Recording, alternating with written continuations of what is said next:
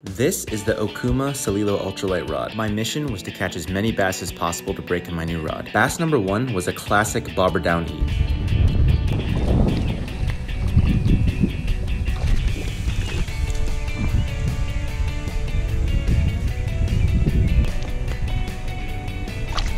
Bass number two hit the grub the second it hit the water.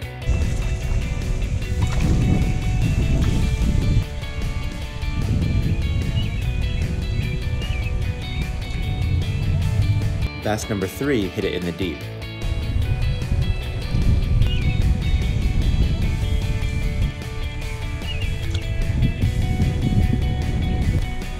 And lastly, bass number four hit it right as I was about to pull the bait out of the water.